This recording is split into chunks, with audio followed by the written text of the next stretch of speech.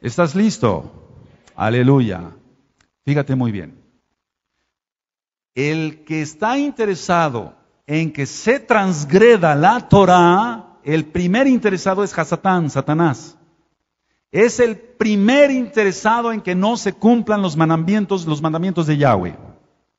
Entonces el faraón los hizo esclavos, porque quiero que sepas que hemos ministrado en las parashá de la Torah que se guardaba el Shabbat desde la época de Adán.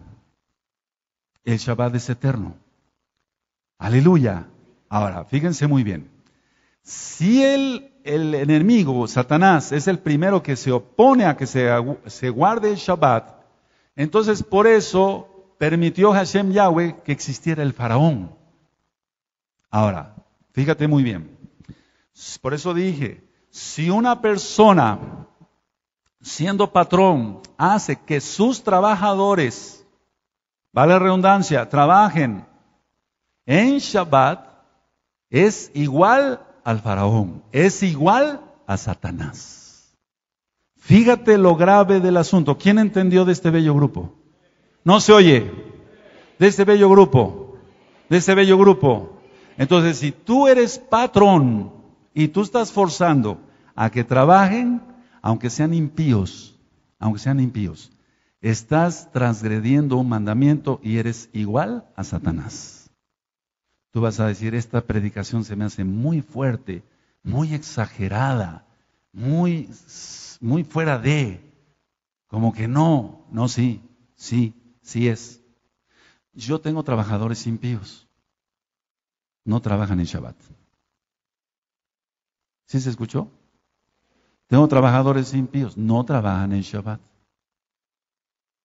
A mí no me interesa si creen o no en mi Dios, en mi Elohim. El Eterno me dice que tienen que descansar. Y entonces tienen que descansar. Aleluya, aleluya. Ahora, Vuelvo a repetir, vamos por puntos. Se nos recuerda el tiempo en que los Bene Israel no eran libres de guardar el Shabbat. Ahora escucha bien, hermano, hermana. Tú ya puedes guardar el Shabbat. Ya no eres esclavo de el faraón. Ya no eres esclavo de un tirano. Ya no eres esclavo de Satanás. Has conocido la verdad, guardar el Shabbat. Aleluya. Aleluya. ¿Quién va entendiendo la magnitud de esto? Ahora, así que aparte de recordar la creación de Elohim, aparte de recordar que Él protege su nombre, se recuerda la liberación y redención de Yahweh de la opresión y de la esclavitud satánica. Antes tú y yo no conocíamos el Shabbat, ahora sí. Pero si tú eres patrón y haces que trabajen, eres igual al faraón. No vayas a pensar como piensan varios yehudí, varios judíos, y lo digo con todo amor, porque queremos que se salve la casa de Judá, el primer interesado en que se salven es Yahweh. Que dicen, bueno, pues yo tengo una maquiladora y ellos son Gojim, son impíos. Entonces, pues que trabajen ellos. A mí, a mí me toca guardar el Shabbat, a ellos no. Entonces, ¿cuándo una persona se va a enamorar del Shabbat? Si no se le da el Shabbat. Si un Yehudí es dueño de una maquiladora y les dice, miren, mi Dios, mi Elohim manda que este día, el Shabbat, se descanse. Por lo tanto, yo les voy a dar descanso. Y el domingo, si quieren, venimos todos y trabajamos. La gente se enamoraría del Shabbat. ¿Quién entendió? Pero no es así, desgraciadamente no lo están haciendo así. Porque dicen ellos son Goyim, ellos no les toca guardar el Shabbat. Pero ¿cómo se van a enamorar del Shabbat? Ahora, veamos lo milagroso del Shabbat, algo muy grande. Quiero que abras tu Biblia ahí en Levítico, vamos a Levítico 25. Levítico 25, verso 18 al 21. Levítico, Vallicra, Levítico 25, 18 al 21. Alabado Yahshua HaMashiach. Si tienes Levítico 25, hermano. Verso 18. Yo voy a leer todos los pasukim para que queden grabados. Ejecutad pues mis estatutos y guardad mis ordenanzas y ponedlos por obra, y habitaréis en la tierra seguros. Y la tierra dará su fruto y comeréis hasta saciaros. ¿Escuchaste? Y habitaréis en ella con seguridad. Y si dijereis, ¿qué comeremos el séptimo año? He aquí no hemos de sembrar, ni hemos de recoger nuestros frutos entonces yo os enviaré mi bendición el sexto año, y ella hará que haya fruto por tres años. Aleluya. Pero esto el pueblo no lo quiere. Por eso siguen trabajando. Por eso tú sigues trabajando. No lo crees. Los que son sus propios patrones. Y los que no, activa tu fe. Y el Eterno va a mover su mano poderosa si eres sirviente, para que te ponga un patrón Yehudí, un Bene Israel, y te dé el Shabbat. Yahweh, no el Yehudí, Yahweh, no el de la casa de Israel. Yahweh es el que te da el Shabbat. Aleluya, a través de los Bene Israel. Ahora, aquí encontramos claramente, mis amados hermanos, hermanas, en Yahshua HaMashiach, la promesa de Yahweh es igual en el Shabbat semanal. No abras tu Biblia. En Éxodo, en Shemot 16, dice que caía doble porción de maná en el sexto día. Eso es un milagro. Ahora, vamos a ir detallando con, calma el tema, pero si alguien duda de eso, entonces estás dudando del Rey de la Gloria y eso es una blasfemia porque todo pecado será perdonado, menos las blasfemias contra el Ruach contra el Espíritu Santo. Y quiero que sepas que Yahshua, el Ruach Yahweh, es un solo Dios. No hay tres dioses, es uno solo. Entonces, si se duda de Yahweh, se está dudando del Ruach Y entonces es una blasfemia y todo pecado será perdonado menos las blasfemias contra el Ruach contra el Espíritu Santo. Ahora, Yahweh es el proveedor y el sustento de los Bene Israel. Escucha muy bien, Yahweh es el proveedor, Él nos da todo, hermano, y el sustento de los Bene Israel. Él es. Ahora, si se trabaja en Shabbat, es el pensar que Yahweh no es capaz de sostenerme y que me sostienen mejor mis manos con mi trabajo. Y esa es una blasfemia. Nosotros debemos de pensar que Yahweh, más no mis manos, es el que nos sostiene. Yahweh, no mis manos, es el que nos sostiene.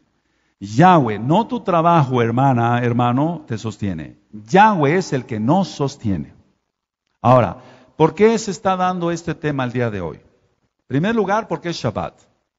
Segundo lugar, porque ya viene la gran tribulación y ahí es donde los Bene Israel tenemos que activar nuestra fe, nuestra emunah y llevarla por obra. Porque las cosas no andan bien y se van a poner mucho peor. Y no veniste aquí para que te deprimas, sino para que salgas danzando de gozo. Aleluya. Ahora, las cosechas, según la Torá, según la Torá, las cosechas continúan produciéndose espontáneamente. No puedo decir solas, sino que tienen la bendición de Yahweh. Y entonces las cosechas continúan tres años. Aquí lo dice. ¿Cómo no creerle entonces que nos va a bendecir cada semana y que nos va a dar doble ración antes del Shabbat para que vengas y estés tranquilo guardando el Shabbat. Pero la persona cae en avaricia y en codicias y en idolatrías de todo tipo y por eso no tiene paz en su corazón porque quiere más. Ese es su Dios, no es Yahweh. Quiero que leas, vayas conmigo ahí, no leas, eh, en, en 25, en Levítico 25, ahí el verso 5. Ahí lo tienes, hermano, hermana. Levítico 25, verso 5. Lo que de suyo naciere en tu tierra segada, no lo cegarás, y las uvas de tu viñedo no vendimiarás, año de reposo será para la tierra. Estaba hablando de año sabático, Shabbat, del séptimo año. Ahora, cuando dice, perdón, lo que de suyo naciere, está diciendo lo que por sí mismo, en el original, lo que por sí mismo naciere. Eso es un milagro. Eso es un milagro. Por eso dijimos que el título del tema es el milagro del Shabbat. Por sí mismo, aquí dice lo que de suyo naciere. Pero vamos, no dije que nacieran solas las cosechas, o la, sí, lo que va a ser cosechado, porque no nacen solas, nacen con las brajot de Yahweh, con las bendiciones de Yahweh. Aleluya. Entonces, los Bené Israel debían de dejar descansar la tierra y iba a seguir produciendo y por tres años tendrían que comer. Pero no lo creyeron. Ahora escucha bien. A ti te toca creer eso, aunque ya vienen los últimos días, se va a desencadenar algo ya dentro de pronto, ya estamos esperando que ya todo se desencadene, la gran tribulación, salga el antimashiach, y lo que tenemos que hacer es levantar más todavía el altar a Yahweh. No vayas a faltar mañana a la administración de la tarde a las seis. Para que tú actives tu fe y nada te va a faltar. Nada. Porque Yahweh es proveedor de su pueblo. Amén. Ahora, fíjense muy bien. Ver que se produce, es decir, que produce la tierra sin esfuerzo, nos recuerda que no somos más que siervos y administradores de la creación y no sus dueños. Para los que les guste anotar, aunque está siendo grabado este tema. Y no es para hacer negocio que se graba este tema, sino para que se bendiga el pueblo de Elohim Yahweh. Ver que se produce sin esfuerzos, es decir, sin que la gente trabaje, nos recuerda que no somos más que siervos y administradores de la creación y no sus dueños. No somos dueños de este planeta, es Yahweh. Tu casa, mi casa, no es nuestra, es de Yahweh. Esta casa, esta construcción no es nuestra, es de Yahweh. Baruch Hashem. Ahora, vamos a 25.6. Si lo tienes ahí en tus ojitos.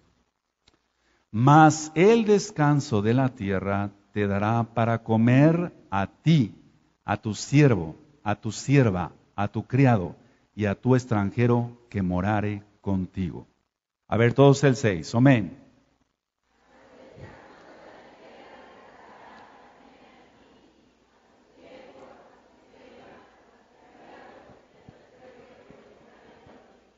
Aquí está tratando Yahweh de que los Bene Israel entendieran que abrir las puertas de sus eh, propiedades, entre comillas, porque ya dijimos que son de Yahweh, abrir las puertas para que cualquiera en ese año, en el año sabático, tuviera acceso al producto de la tierra, lo que fuera, un ejemplo, papas y tomates, lo que fuera.